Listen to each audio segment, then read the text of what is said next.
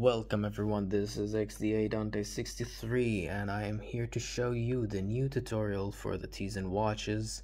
It's about time that I actually release a new video since the old video is no longer uh, making any sense and of course there's a feedback and all so I can explain even better and hopefully the video will be shorter.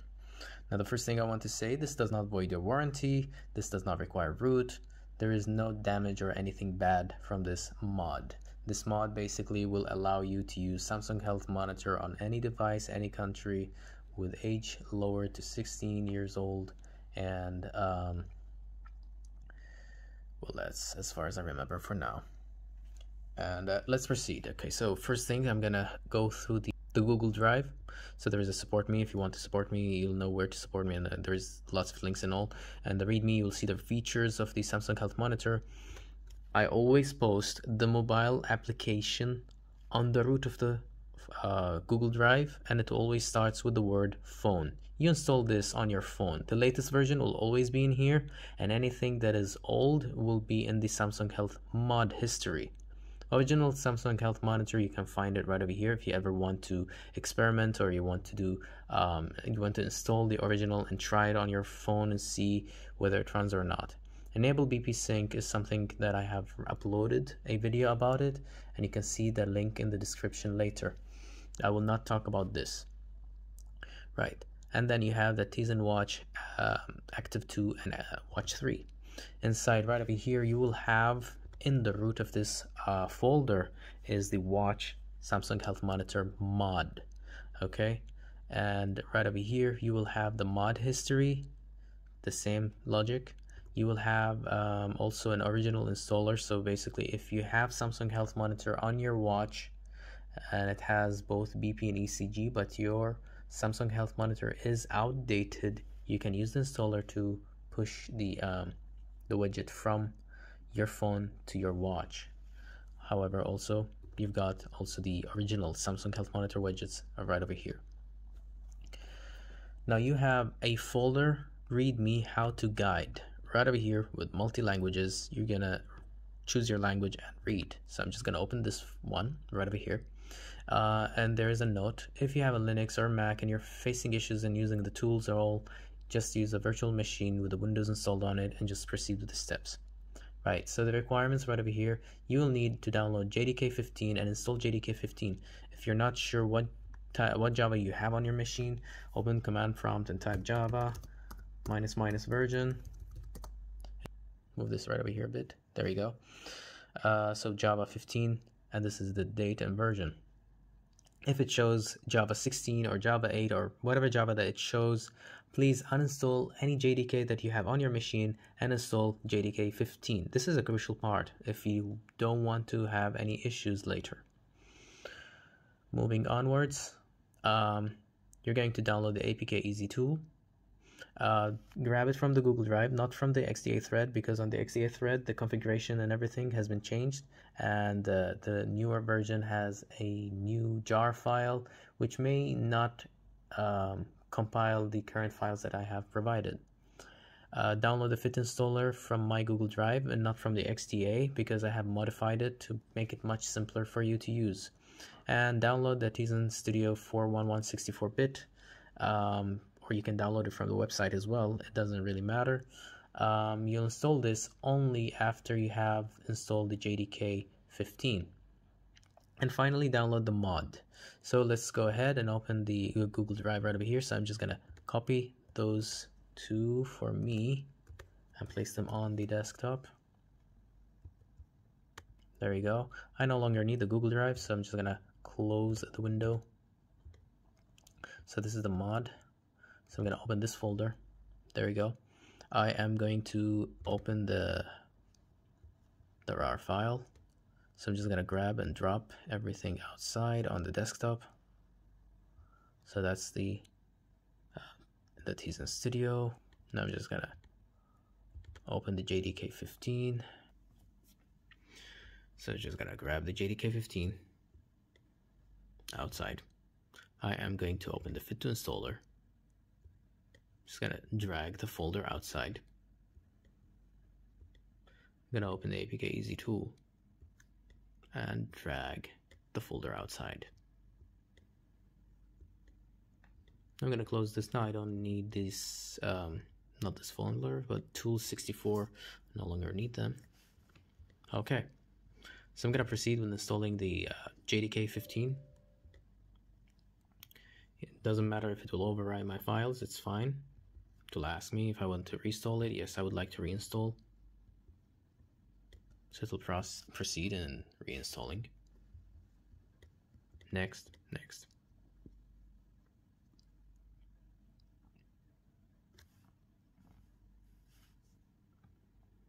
I will close. Now I'm just going to delete this one because I'm done. Now I'm going to proceed with the Tizen Studio. Just gonna run it. Get prompted, verifying installer, extract Tizen Studio, SDK.zips installation process is starting.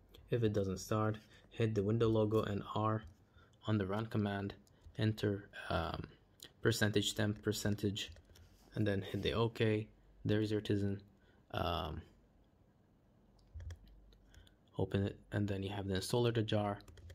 Double click on that and then you'll be in right here hit the accept the path seems to be fine hit the install if you see any errors that says there is no file extension ignore those errors launch the package manager and hit the finish. So the package manager now is going to run. Now that isn't uh, Studio Package Manager, go to Extension SDK, go down. Hit on the install for the wearable extension, hit the yes and accept, and then go to the certificate extension, hit the install, say accept, go to progress, wait for these um, to be installed. As you can see, it says all installed and the progress is 100%. Now hit the, close the window, check the box launch the Tizen Studio and hit OK. Wait for Tizen Studio to load. It will ask you for a workspace. Let the workspace be something like C drive Tizen workspace. Use as the default. Do not ask again. Launch. Okay. This is your Tizen Studio. What you're going to do now is going to be opening the device manager. This is your device manager. Okay. Now you're going to go right over here, which says uh, remote device manager. Now in here. Go ahead and disable your antivirus and firewall. This is a crucial part and Windows Defender if it's also enabled. Now on your watch, let's just see right over here. Sorry about that. Go to settings, scroll all the way down.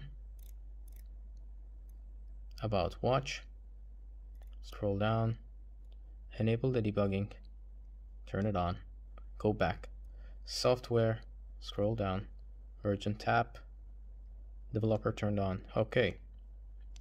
Now, scroll down to connections. Switch off the Bluetooth. Go down to Wi-Fi.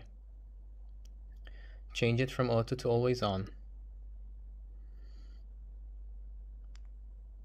Wait for it. It will connect to your uh, it will connect to your Wi-Fi that is uh, for me, uh, the same network of my PC. Now open the Wi-Fi network, tap on that, go down. There is the IP address. So back to the PC right over here. Hit the plus sign. I'll just call it watch. Um, three. Now I'm gonna enter the IP address. As you can see, this is the IP address. I'm gonna enter it 192.168.0.134. Then I'm gonna hit on the add and then I'm gonna hit on the connect. Check the watch if it asks you for prompt saying like for example RSA connection and all allow. If it doesn't then you're actually connected. Close this window but do not close this window. Keep this window open. Right. Let's minimize. Now we go to the certificate manager. open the certificate manager. Let's proceed in creating a profile. Hit the plus sign right over here, Samsung, and then proceed with the mobile wearable. Hit on the next, give it a name, so I'll call it an SHM. Then hit on the next, create a new author certificate. I'll just call it SHM again because I don't really care. And the password, as I have mentioned in the README file, I'll just say capital A, B, C, one, two, three, four, five, A, B, C, one, two, three, four, five. Hitting on the next, log into Samsung. As you can see right over here, it says, um, congratulations, your new author certificate is located in this path. Right. Hit the next. Create a new distributor certificate. Next. Now keep things as it is. Now as you can see the DUID, because your watch is connected, you have your DUID right over here. Hit on the next. It will tell you, congratulations, your distributor certificate is located at this path. Now let's go to that path and grab the certificates. As you can see, I have 10 certificate files right over here. I'm gonna control C to copy the files. Now minimize this. I no longer need this one, so I can close it. Uh, minimize the Tizen Studio. There you go. Now let's open the Fit2Installer. Right. In Fit2Installer, you have um, a README file. Um, you have the cert folder. Let's go into the cert folder and paste. These are the, the 10 cert files that we created, certificates, okay? Um, inside the sign me, I am going to grab the mod, as you can see. I'll go in here, right over here. Okay, so the Fit2Installer backup for you, basically if you actually accidentally deleted anything, you can just open this and restore it right over here. Or if you feel like you want to have a fresh copy. Right, let's go. So let's go ahead and run this um, batch file. So as you can see right over here, this is something new you have not seen before. So you have three options. Of course, it's actually two options because the third option is basically exit.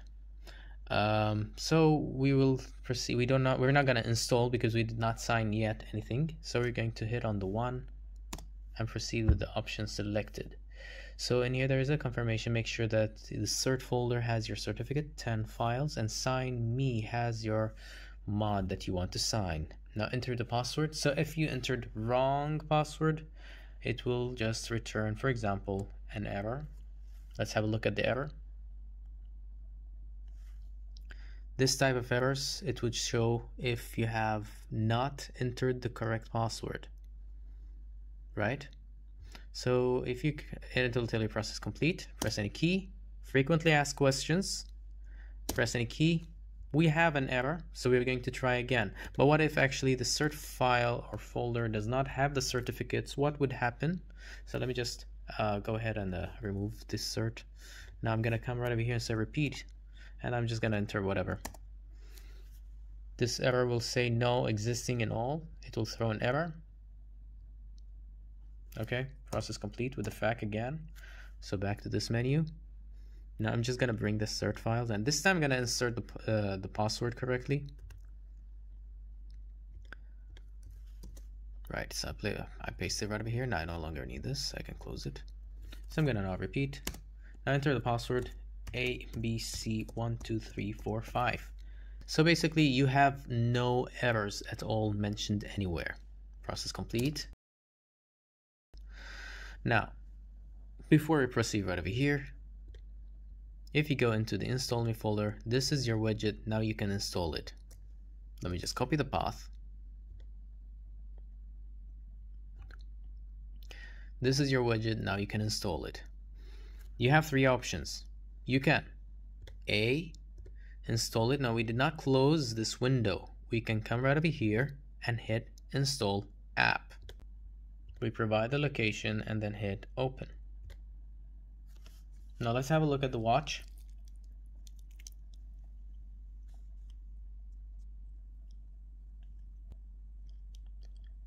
Your Samsung Health Monitor has been installed. Allow. There you go. This is the mod. Now, if you don't want to install the Tizen Studio, let's uninstall it.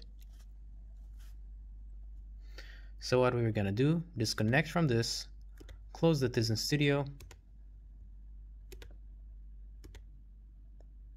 and then we're gonna proceed and install it from the Fit2Installer. So we go to option number two. Enter your IP address. If the IP address is entered incorrectly, fail to connect. So did you see an error? Yes, I have seen an error. Why? Repeating process, enter the watch IP. So I remember the watch IP 192.168 and 0, then 134. Connecting.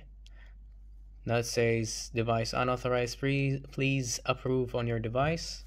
Ignore this. I mean, if the watch is not showing anything, it's already approved. Never mind that.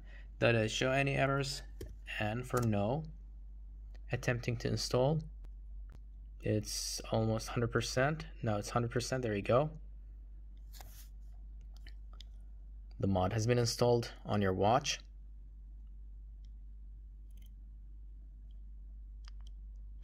And there you go. The third option and the last. Let me just uninstall. Right. Right, so you're gonna proceed in this, success, exit, and your Tizen Studio is done. So, your last option is to create an application and push it through your phone. So I'm just gonna go and grab this uh, mod from the install me folder, close this, APK easy tool. Now you can see right over here, everything is configured already. You don't really need to configure anything. So you're just gonna come right over here. You have the SHM installer. So run APK easy tool. And then hit the browse and go into the SHM installer, select it now hit the decompile, wait for it to finish.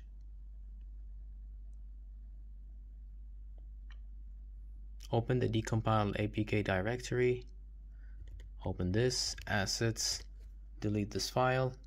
Now let's cut this widget, place it right over here. Go back right over here, hit the compile.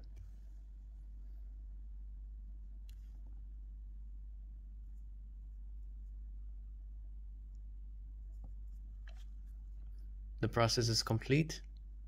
You can close this and then you can close also that. Now go to the recompiled this is your phone app and we're going to install this on the phone so I'm just gonna paste it right over here on the desktop so I just hit on the delete Okay, so I'm just gonna move the file to my phone and then I am going to be back with you. Now I am on my phone, so I am going to show you. Now this is the installer, but before I do this, I need to show you one more thing. So right over here on my watch, I am going to, once again, sorry about that, go to settings. Now there's no need for the Wi-Fi. So we go to connections, Bluetooth, switch it on go back, Wi-Fi, switch it to auto or switch it off. It's up to you. Okay, now we go backwards.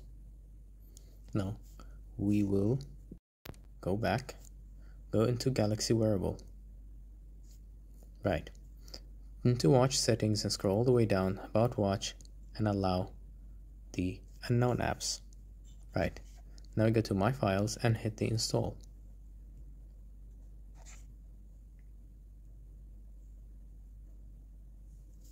It says done. Now notice at the top in the progress bar, it says transferring file, please wait. In the meantime, while it's trying to show you right over here, as the file is being pushed from the um, phone to the watch, it's not as fast as the, the, the PC transfer, which is Fit2Installer and the Tizen Studio, but eventually it will come right over here. There you go. Samsung Health Monitor with both BP and ECG. Okay. Now I can actually start measuring an ECG reading if I want to or not. If your ECG reading is kind of like really like bad or like the graph is like really bad. Now this is not because of like I, I meant to do this on purpose because I want to tell you. It's either because, I mean, your hands is moving, it's shivering, it's not stable, or the watch itself is actually not stable. Um, another reason is if there's dirt or any dust trapped under, so you can actually switch off the watch and give it a good wash under uh, warm water, but not too hot, and then dry it and then give it a bit of uh, time like an hour and then when you try try to um, do a measurement again, you will notice that the ECG um, measurements is kind of going back to, sorry about that. So you will notice that the ECG will go back to normal. Or actually I give it a bit of a bit of shake, so. And there we go. Could have that, okay. And there we go.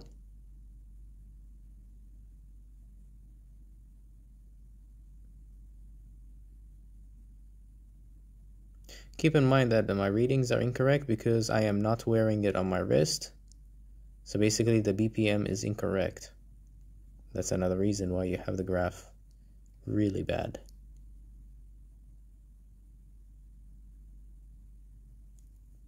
Because the readings are on my finger. Right. And I appreciate it if you could actually subscribe on my Patreon or support me on my PayPal. It would mean a lot. And uh, please feel free to drop any questions that you have or if you need any help. Um, let me know in the comments. This is a very simple tutorial, way simpler than what it used to be, and the tools are much more um, easier to use. Thank you for watching. Have a good day.